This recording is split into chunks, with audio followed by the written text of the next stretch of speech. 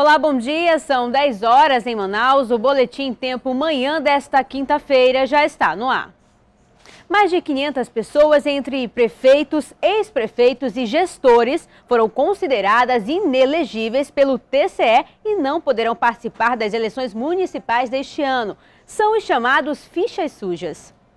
Este ano, a lista de quem não vai poder se candidatar foi divulgada cinco meses mais cedo. Agora, com essa antecipação da lista, nós vamos ter um cuidado de fazer um trabalho bem criterioso e, evidentemente, eh, não deixar de fora ninguém, né? Nem cometer injustiça. Foram divulgados 510 nomes de candidatos que tiveram as contas reprovadas por contratos irregulares e falta de apresentação de contas. Mas há a possibilidade de quem esteja na lista sair desde que entre com recurso junto ao Ministério Público Eleitoral. Se a pessoa atender aos critérios e puder fazer com que a votação seja o mais rápido possível, ela tem a possibilidade de sair. Mas eu posso dizer que desta lista, poucos têm essa chance e já tiveram tudo transitado em julgado. Todo dia 25 de cada mês, uma lista atualizada com base na lei da ficha limpa deve ser divulgada no portal do Tribunal de Contas, no Serviço de Informação ao Público. Ele vai facilitar e muito a fiscalização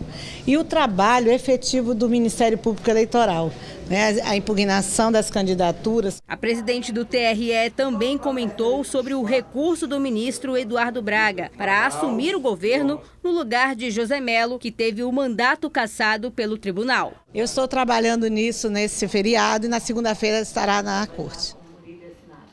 E nessa quarta-feira, em nota, o prefeito de Manaus, Arthur Neto, explicou o nome dele ter aparecido na lista de doações da construtora Odebrecht durante as investigações da Lava Jato.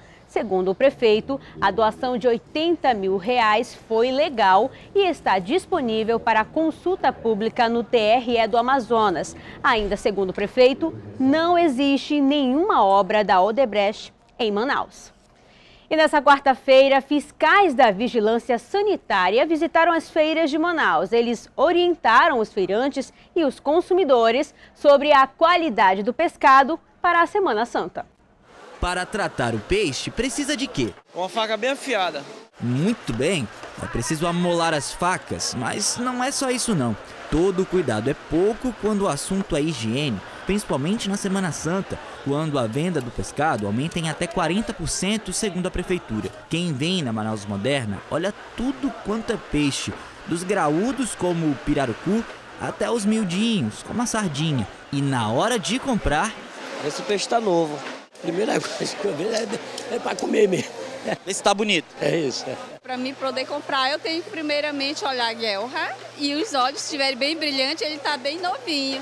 Isso mesmo, a Dona Rosa está certa. Olha só, além dos olhos esbugalhados e das guelras, a aparência conta muito na hora que você for comprar o peixe. Por exemplo, na hora que você estiver na feira, peça para o comerciante abrir o peixe na hora que você estiver comprando.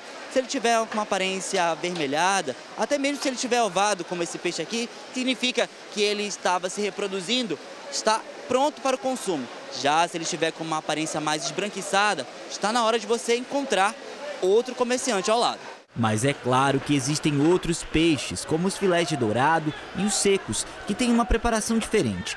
Mesmo assim, é preciso atenção. A Vigilância Sanitária visitou as feiras da capital para dar orientações tanto ao consumidor quanto para o feirante. Há uma prática, não de todos, mas de alguns, de passar um produto, a própria guelra, o sangue, por dentro para poder avermelhá-lo. Isso não é permitido. Isso é uma coisa que é uma fraude. Além dos fiscais, nutricionistas e outros especialistas em alimentação acompanharam essa visita. Quem trabalha dentro das regras, como Bruce, apoia a iniciativa. É aprovado, né, para o peixe sair de qualidade, né? Nosso trabalho também, né, com higiene e segurança, né? E clientes como Pedro, que já se preparam para curtir o feriadão, agradecem. A ceia vai ser farta aí na Semana Santa? Se Deus quiser, né? Eu já estou comprando para casa, que é só eu e a véia.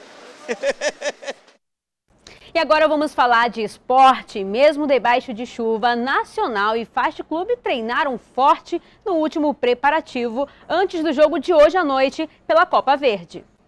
Nem a chuva que caía atrapalhou a preparação do Fast, que fez o último treino no estádio da Ubra. O time vai enfrentar o Paysandu numa partida pela Copa Verde. Estamos motivados todos e se Deus quiser vamos sair com essa vitória pela Copa Verde contra o Paysandu, se Deus quiser. A expectativa é bem, vamos fazer, se Deus quiser, vamos fazer um bom jogo e se Deus quiser sair com a vitória. É um clássico, né? É clássico Amazonas contra o Pará, mas tem nada perdido, vai, o jogo é em casa e se Deus quiser nós vamos sair com a vitória. E o Nacional também treinou pesado embaixo de muita chuva. O Leão da Vila vai enfrentar o Remo, um adversário forte.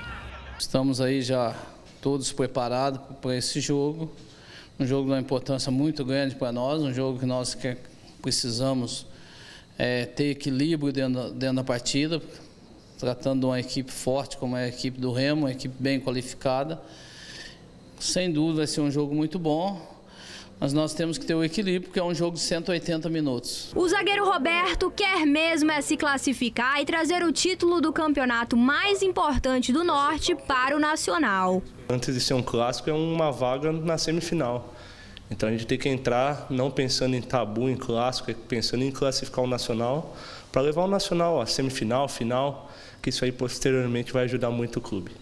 O jogo do Faixa e Paysandu será na Arena da Amazônia às 18 horas. Já o Nacional enfrenta o Remo no Estádio da Colina às 8h30. Os ingressos ainda estão sendo vendidos nas bilheterias dos estádios. E olha, mais de 8 mil pessoas estiveram na Arena da Amazônia na noite de ontem para ver o jogo entre Iranduba e Corinthians. E o primeiro gol feminino da Arena foi de um time amazonense. Iranduba e Corinthians começaram o jogo com dificuldades na troca de passes. Mas aos poucos, as meninas foram se acertando e os times passaram a jogar mais no ataque. E depois de muitas chances desperdiçadas no finalzinho do primeiro tempo, Natani recebeu pela direita e de cabeça fez 1 a 0 para o time do Iranduba. Segundo tempo começou com as meninas do Iranduba fazendo pressão em cima do Corinthians. E logo aos cinco minutos de jogo, Kellen fez o segundo para o Iranduba. E após um erro na defesa do Iranduba, Gabirudes do Corinthians diminuiu 2 a 1. O time do Iranduba estava melhor em campo, ditando o ritmo de jogo. O time adversário quase não conseguia chegar ao ataque. Paulinha substituiu Natani e já entrou fazendo pressão no time do Corinthians. Mas o time adversário reagiu e aos 30 minutos do segundo tempo, Grazi marcou para o Corinthians 2 a 2. Empate de hoje, as meninas do Iranduba perderam a chance de assumir a liderança da chave. Agora, elas se preparam para o próximo jogo contra o Flamengo no Rio de Janeiro na quarta-feira. O técnico do Iranduba não ficou satisfeito com o empate. Teve algumas falhas, mas a gente vai, vai consertar isso aí. O que não pode é um time que está ganhando por 2 a 0 dentro de casa deixar a equipe delas empatar.